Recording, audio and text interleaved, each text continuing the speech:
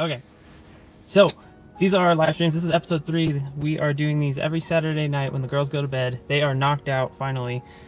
And we're going to be talking the format of this is is we're going to talk about life, love and Tesla. So we're going to hit topics on all three things and then we're going to do a Q&A and just interact with you guys. So, yeah, I wanted to talk about the new Corvette that came out uh, a couple days ago. I mean, it looks pretty cool. I, I the two cars that I was fascinated with when I first started driving or was about to drive as a kid was the the Corvette, the Stingray, mm-hmm. like the older one, That's a and pretty classic car. the Dodge Charger. I don't know. I just really like the Dodge Charger.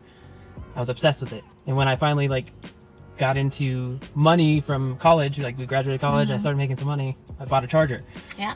and I loved it. You I loved that. I loved the, the looks of it, I, but like driving it, I mean, the transmission gave us a ton of problems, and like a lot of our Chrysler Dodge vehicles did with the transmission, and that was a constant theme because your car is in the same family or Mhm. Chrysler.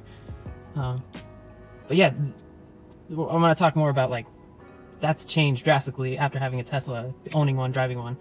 What was your car as growing up? What you wanted? So I love Jeeps. Always wanted a Jeep, and I finally like. I finally, after I got out of high school, um, I drove like a old truck for like majority of my high school life. Um, my parents helped me out by getting me a uh, 04 Jeep Wrangler, which was like one of the last years before they came out with the uh, TJ.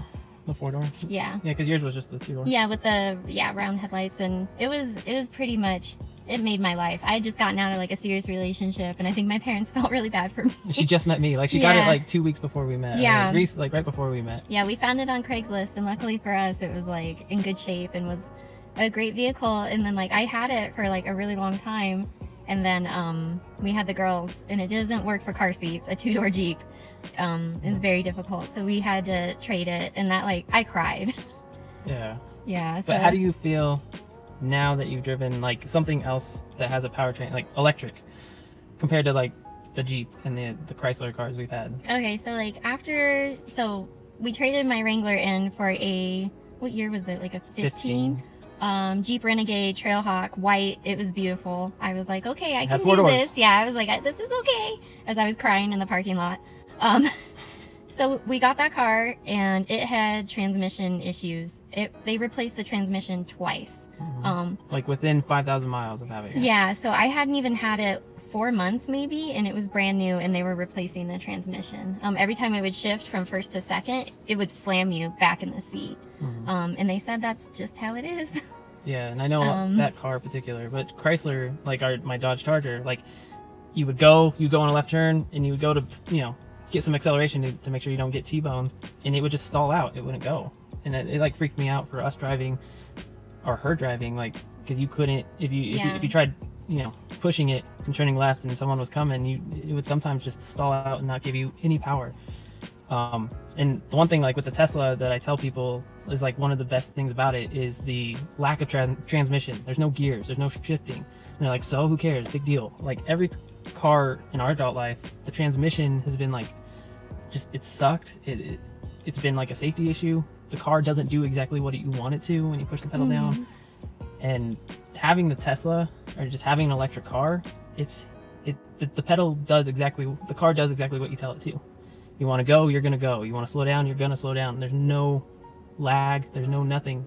So I feel absolutely secure in this car. hmm And I, I just I didn't really feel that way with with any of the Chrysler vehicles that we and then we've been going with Chrysler since we've Yeah, adults. and um, even my Durango now will have a hiccup every now and then. Mm-hmm. It's a little sketchy. Um, before we got the Tesla, um, we test drove a new um, Jeep Wrangler JL, which came out. Um, we test drove a white, no, it was the Silver Sahara edition. It was really nice. It was beautiful, and I'm pretty sure if Anthony didn't get this car, I was gonna get that car. um, it was just gorgeous. I loved. It gave me all the feels of when I had that other Jeep, you know. Um, but you know, that's uh, it, after having the Tesla, it makes me kind of reconsider my priorities on what I want in a vehicle yeah, like and what's practical. I see the new cars like that new Corvette that came out, and it's just the I can't get as excited because it's like I feel like it's still like a flip phone or like a pack of cigarettes. like I look at it and it's just they put a new year on it, the 2020 pack of cigarettes. It- It's just old. It's not the way if they made an electric version, maybe because like just this powertrain in general. any new car that doesn't have an electric motor with instant torque just seems silly. Mhm. And I mean, maybe the styling, but once you drive it, which is the whole point, not just to look at it, it's it's not the same experience as driving an electric car. I don't know if you guys feel the same way, or if you guys have an electric car, or if you're thinking about it, what kind of gas cars you drive now. But yeah, it- it's night and day, just the driving experience. Even in our Kia Soul EV, that thing was a blast to drive. Mhm. It was a dinky little EV, but I mean, I enjoyed just the driving experience of that more than my Charger because it still had the instant torque and it was just reliable. It did exactly what I wanted it to to do. And yeah, I don't know, I'm rambling. I think it was really cool. Today we were at a birthday party we took the girls to, and we actually stole the parents and Yeah. let them drive our Tesla, and they enjoyed it. Yeah, they had they had such a a good time. Um, I think, I don't know, that makes me so happy that we can let other people experience that because on the outside they're like, oh, that's a really interesting, cool car. And I'm like, well, wait till you get on the inside. And Or you just know, drive it, yeah. yeah. And they know, first thing people notice is the white seats right away. They're like, why do you have those with kids? And I'm like, Mm-hmm. they're actually not that bad. Um, my black seats are actually look nastier than these ones yeah. do. Yeah. Um, but it's always super fun to like, you know, launch the car with new people in it and they don't know. Well, and when they actually sit in the driver's seat and drive it, like it, it's Mhm. one thing to sit in it, but to drive it, that, that's the whole thing is the driving experience. And it it was a blast just watching them drive it. Yeah, just, just- the interest and the pure joy of it being so radically different than And then you just hit a few of the points of like software updates, no maintenance, the you know no oil changes, no brake changes, you know you regenerative braking, Mhm. all that, and then the driving experience, instant torque, just puts smiles on their faces, and they're just like, why am I driving anything else, or why aren't other companies making cars like this? Yeah, and then always kind of like their next question is how much did it cost? How much does it cost to charge, you know, mm-hmm. to operate? And I think people are relatively surprised. at how simple and cheap it is to power these things, like relative to gas prices, and just being able to to to like just charge at home, have a full charge every morning, not have to worry about it, and then when you're actually traveling, at least with Tesla, there's a supercharger network, so you never have to worry about. You know what? Where are you going to charge? That's everybody I talk to at work. Like, oh, you're never going to find a place to charge. You'll never see me drive one of those, and the the misconceptions are crazy. So, I don't know. I hope that we can help in some way to just give some insight. And we have the, the cheap version. This is the standard range plus. So as far as speed and torque and all that, this is the lowest model, and yet it still brings smiles to our faces. Oh, yeah. And it's like so much fun to just show off and enjoy. Yeah, we're like the most low pressure salespeople you've ever met. and we aren't even selling, so. but it's just fun to share the experience with people in our lives because I think people are genuinely curious. Yeah, they're curious. It's a it is different. It's like a paradigm shift that has to happen.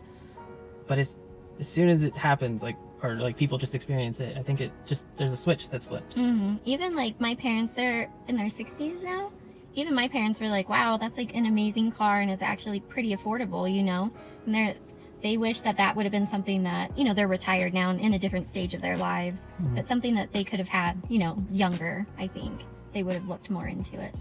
But yeah, it's it's super neat, and I'm I'm always like so happy to um share people. share people, you know, and just Because yeah, like Tesla doesn't do the dealership thing. Like they have some shops around at the mall and stuff that you can mm-hmm. you have to schedule test drives.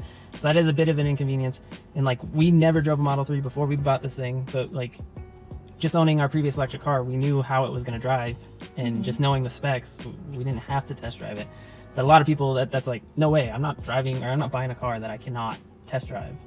And hopefully we can help get people more confident in just driving one of these. You do get a week, so if you do think about buying one of these, you get one week, and you can return it for a full refund, no questions asked. Um, so they do give you that option. It is kind of a pain because you still have to manage getting your finances and stuff in order if you're going to do financing and stuff. But I don't know. There's a very very small percentage chance that you're going to want to give this thing back.